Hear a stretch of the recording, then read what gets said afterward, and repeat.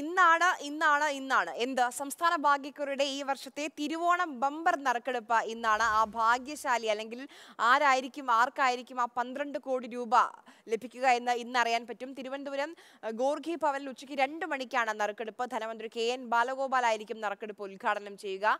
ചടങ്ങിൽ പൂജ ബമ്പർ ഭാഗ്യക്കുറിയുടെ പ്രകാശനവും നടക്കും.